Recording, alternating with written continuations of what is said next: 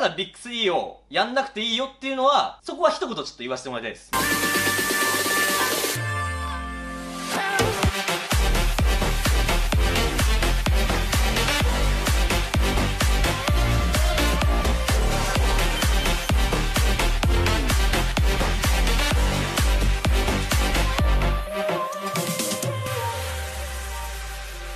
10一緒反抗期こんにちは、パーチョーナウトです。ウッシーですサバルチョ出身、ゆきおでです。今回の動画は、ビッグ3を否定した山本義則先生に物申す拍手な。ごめんなさい。拍手拍手しちゃった。拍手じゃない。物申すっていうのはどういうことですか？物申すというのはですね、山本義則先生、あの、有名なはい筋トレ YouTuber の。筋トレ YouTuber。まあまあまあ、合ってますよねそ。うだから筋トレ YouTuber ですよね。本職かどうかちょっと微妙なとこなんで。はい。もちろんすごい尊敬してますし、日本の筋トレ業界を引っ張ってきた第一人者であること、これ間違いないですね。はい、もちろん。なおさんもね、好きでよく見てるって言いますもんね。僕はあの本とか見てますから、その本買って見てる、はい今複雑な心境ですけど この間山本義則先生がビッグ3はやるべきじゃない何？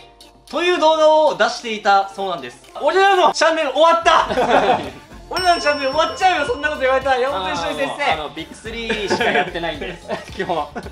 僕ら3人ともビッグ3をやるなっていう、その動画を見ました。はい。はいはい。簡単に内容をまとめると、まあ、ビッグ3は怪我がしやすいと。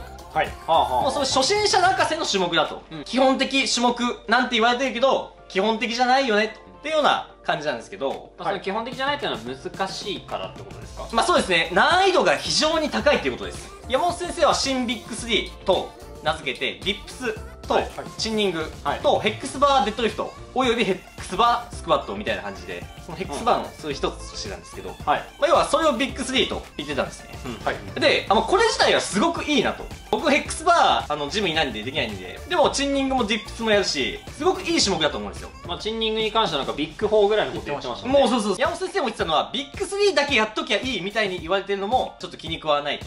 はいはいはい、まあ、それは俺らも同意さ。それはそうっすよ俺らビッグ3だけやってちゃダメだよってのはは間違いないじゃないですか。僕らも同意したいところがあるんですよ、山本先生に。まあ、俺らは最終的にビッグ3やった方がいいですよっていう答えなんですけど、はいはい同意したいところもあるんですよ。それは、確かに怪我しやすい種目っていうのもそうです。間違いないこれは確かに間違いないです。で、初心者泣かせの種目っていうのも、まあ、怪我しやすいんで初心者泣かせ。それもそうだと思います。で、基本的な種目じゃないよねっていうところ。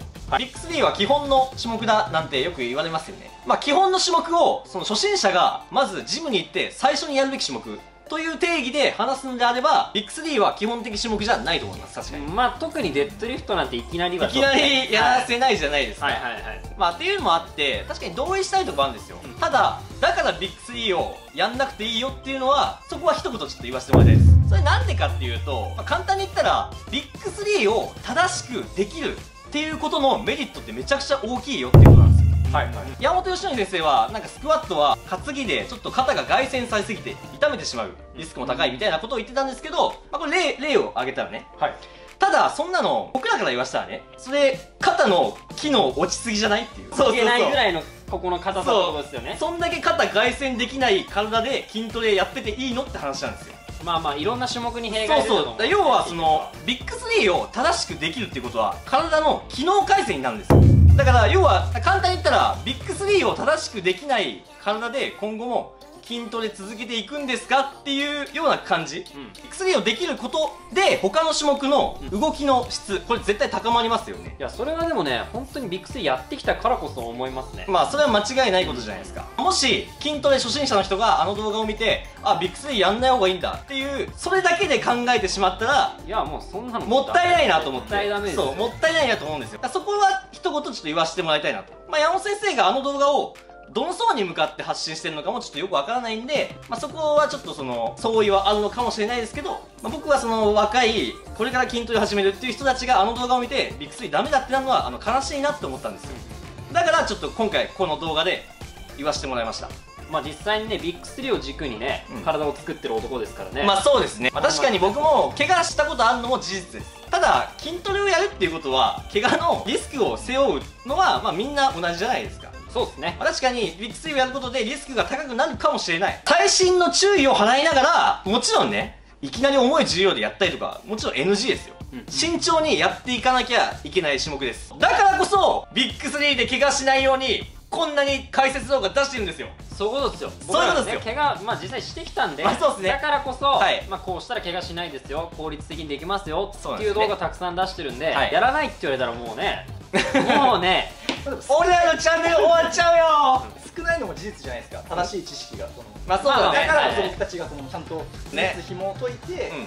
解説できたらなっていうまあそうですね。のがあるんで。はい、しかもね僕これマジで思うんですけど、うん。こう重さを求めることってめっちゃやりがいだと思うんですよ。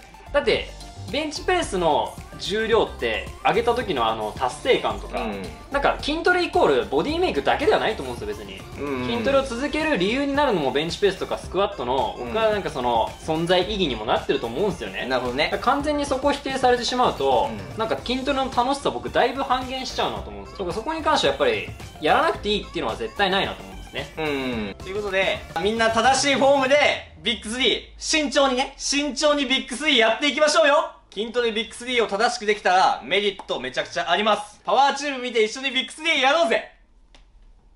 この動画が少しでも良いと思った方はチャンネル登録してパワーチューブに入部お願いします。お願いします。皆様良いパワーライフを